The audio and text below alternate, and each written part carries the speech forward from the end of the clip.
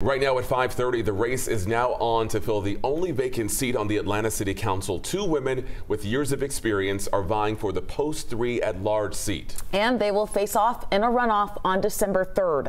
11 Alive's Joe Ripley spoke with both candidates about how they plan to turn voters back out in just 3 short weeks. You've probably seen the signs all around Atlanta. Two faces that have become familiar this election season.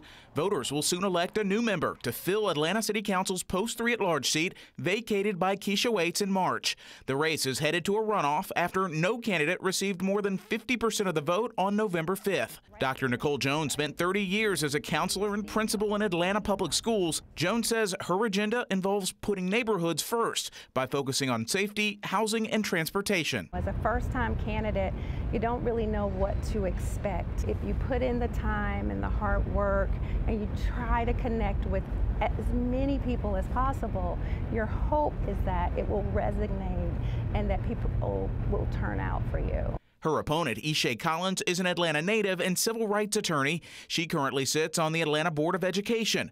Collins touts record graduation rates in APS and working to provide affordable housing for educators. More than 77,000 people cast ballots in the general election. Turnout for the runoff could be a fraction of that number, ensuring that every vote will matter. Continue to fight for a city that thrives for all of us, being very clear that no matter where you live in the city, no matter your income, and no matter your family structure, we all should be able to take advantage of the things that make Atlanta great. In Atlanta, Joe Ripley, 11 Alive News.